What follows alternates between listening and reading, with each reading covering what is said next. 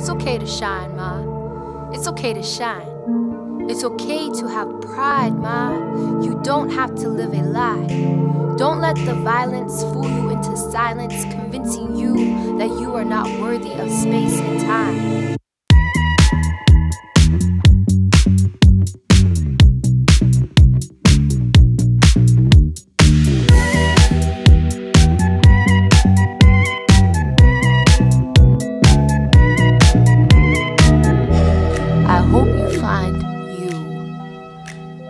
I hope you find love again.